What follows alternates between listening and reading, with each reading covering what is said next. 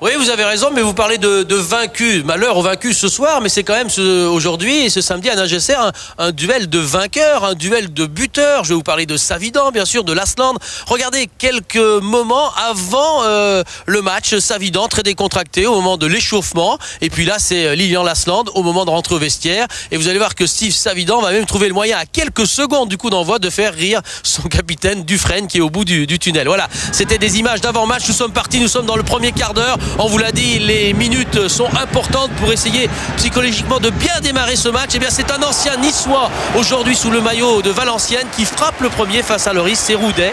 Et vous allez voir que euh, Loris a bien fait du bout des gants d'aller repousser ce ballon qui allait tutoyer la, la transversale. On va passer le premier quart d'heure de jeu, on va monter dans ce match. Ederson, l'homme en forme est parti. Ederson qui est repris au dernier moment et qui est heurté par la sortie de Pento. Ederson va se faire très mal au genou. Vous allez assister à ce bras droit tendu de Monsieur Layek. C'est un penalty, penalty indiscutable. Vous le voyez comment euh, Pento vient heurter violemment Ederson.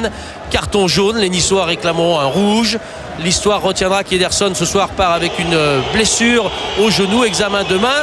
Le duel connaît face à Pento. Regardez cette balle impossible à aller chercher.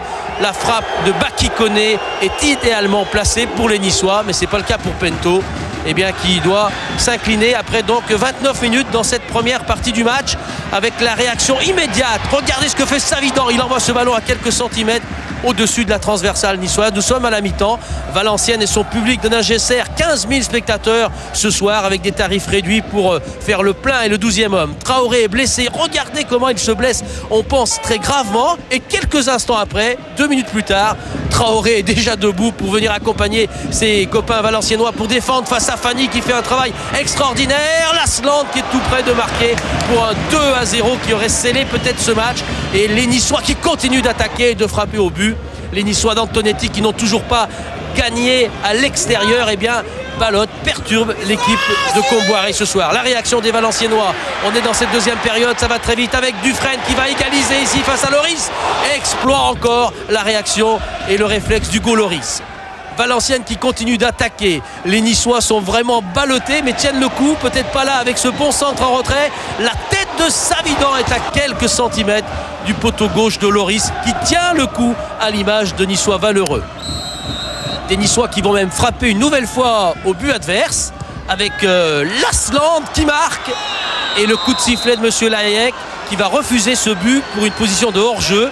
En fait, regardez bien, Echouafni dans la zone vert sombre, lui est hors-jeu, mais pas Lilian Lasland qui vient battre Pento. Toujours un but à zéro dans cette partie, les 20 dernières minutes maintenant. Encore des roches, des offensives pour Savidan qui s'écroule. Supporters valenciennois demandent un penalty. Ils n'auront qu'un carton jaune pour simulation. Savidan est puni par monsieur Layek. Les esprits s'échauffent, y compris sur le banc.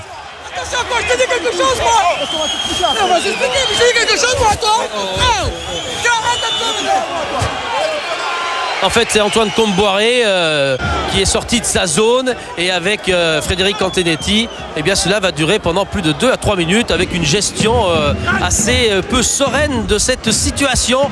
Nouvelle frappe de Lasland dans les 5 dernières minutes. Vous voyez que les Niçois ont tout tenté ce soir. Antoine Comboiré est dans les tribunes. Il a été expulsé par Monsieur Layek. Nous sommes maintenant dans les tout derniers instants de ce match. Encore une occasion pour Lasland.